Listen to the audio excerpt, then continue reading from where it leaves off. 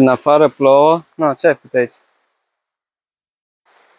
Când afară plouă, noi putem să muncim aici în solarii, pentru că, bineînțeles, aici suntem protejați. Și astăzi vreau să uh, vă arăt cum arată căpșunii noștri din solar, să vă arăt uh, ce multe flori avem deja deschise, să vedeți ce diferență este între uh, spațiu protejat și câmp deschis. Avem deja și flori care urmează deja să se scuture. Uitați-vă ce frumoase sunt. Ia și această plantă.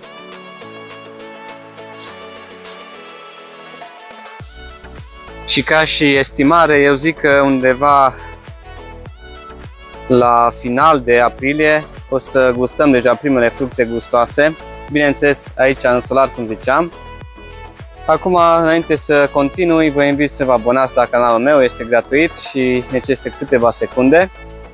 Aici, pe intervale, după cum se vede, este destul de curat, pentru că în urmă cu ceva timp, de aia mă văd așa de murdat pe papuci.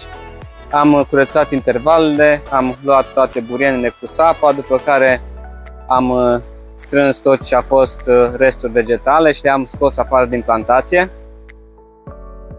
Uh, iar acum așa arată solarul, este foarte, arată bine, este degajat, plantele respiră.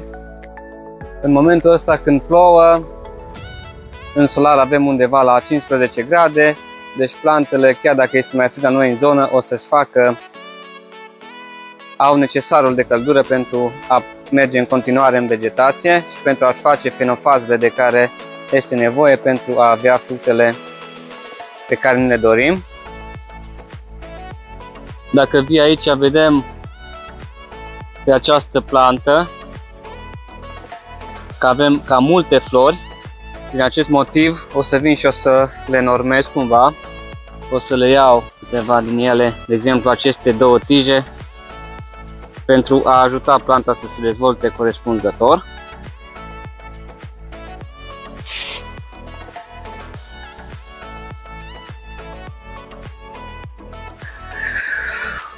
Deci cam atât v-am prezentat acum.